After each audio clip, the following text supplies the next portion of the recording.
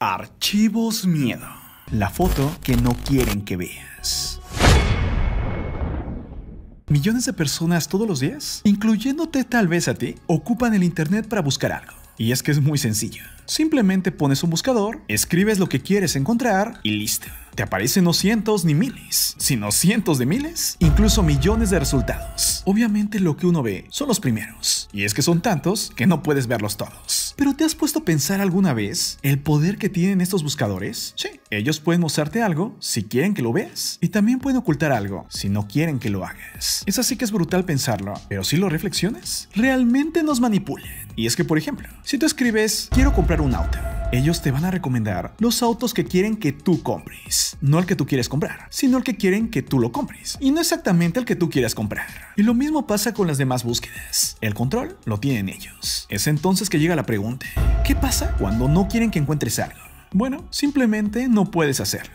Y para prueba, la siguiente historia. Existe una famosa foto, la cual es realmente impactante, donde se ve un hombre enfrentando solo a varios tanques. Millones de personas han visto esta foto, pero no conocen la historia detrás de ella. Bueno, la famosa foto muestra un manifestante solitario con una camisa blanca en la plaza de Tiananmen de Pekín en 1989. Los manifestantes hacían protestas pacíficas y lo único que pedían era democracia. De manera oficial por las protestas, se sabe que murieron cientos de personas, pero se calcula que realmente murieron miles y que hubo también muchos desaparecidos. Y es que el gobierno de China no lo permitió y mandó a sus tropas militares para callarlos. Cada 4 de junio de 1989, casi todo el mundo conmemora lo ocurrido. Y digo casi porque China no lo hace. Incluso cada 4 de junio, el gobierno de China aumenta la censura. Eso en todo sentido. Por ejemplo, ese día, la plaza es tomada por fuerzas de seguridad. Además, la red es bloqueada y se maneja una gran censura en línea. Pero ¿hasta dónde llega esta censura? Bueno, para muchos, a veces traspasa ciertas líneas e incluso llega a todo el mundo. La fotografía conocida como Tankman el 4 de junio simplemente desapareció de Bing, el motor de búsqueda de Microsoft, lo cual generó una gran preocupación sobre el poder de censura que tiene China. Y es que sí, en el buscador Bing, por más que lo intentabas encontrar, no aparecía. Fue tal la polémica que incluso el portavoz de Microsoft tuvo que salir a hablar. Él simplemente comentó que todo fue por un error humano accidental y que se estaba trabajando para poder resolverlo. Pero no solo ocurrió en Bing, también ocurrió algo extraño en Google.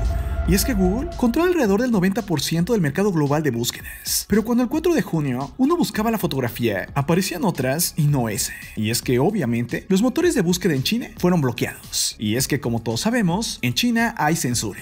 Lo extraño es lo que pasó con Bing y lo que pasó con Google. Es por eso que llega la pregunta. ¿Realmente fue un error? ¿O el gobierno chino tiene tanto poder que incluso bloqueó esta más allá de sus propias fronteras? Y todavía a esta llega una pregunta mucho más perturbadora. Y esta es, ¿qué tanto nos esconden? ¿Qué tanto nos manipulan?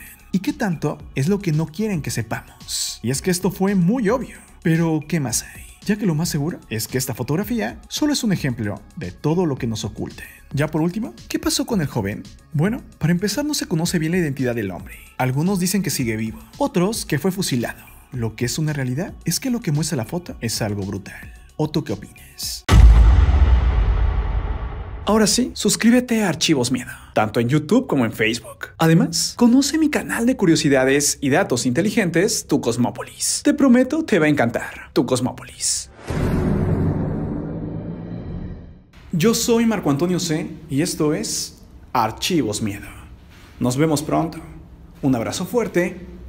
Bye.